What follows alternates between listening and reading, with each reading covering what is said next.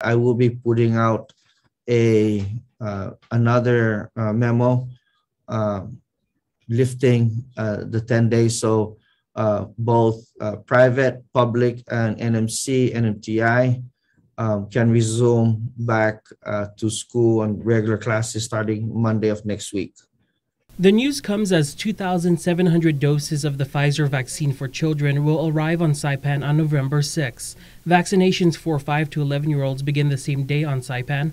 The Rota and Tinian health centers will start administering the vaccine for kids on Monday. I'm very excited because now we get to get the opportunity, and we're very fortunate and blessed uh, to have uh, the possibility of having our children from age 5 to 11 get vaccinated um, that will cover a whole new um, spectrum of age.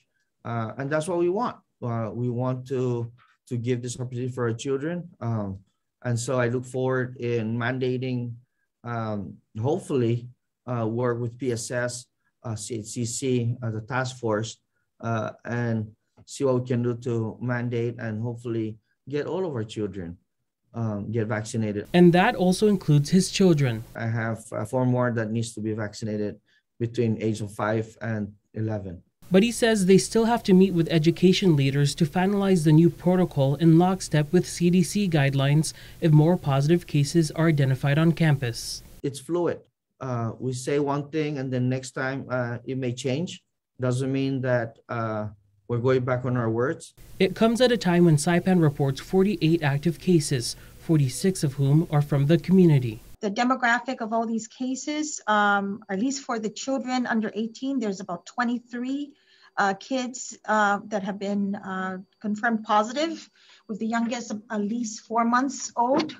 The clinical status for these patients, there's about 27 with symptoms. Most of them are mild and two with moderate symptoms, but they have, uh, and four had received treatment of uh, REGEN-COV infusions.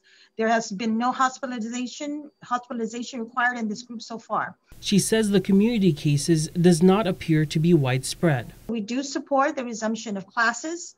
The Coalition of Private Schools already announced and um, are been very proactive ensuring a safe environment for their students by using these preventive measures. And after days of investigations, she says they may have identified the source of transmission. We have uh, information that linked these cases to an essential worker that was non-compliant and was actually returned to the quarantine site, but decided to leave the CNMI because he was not allowed to exit during quarantine.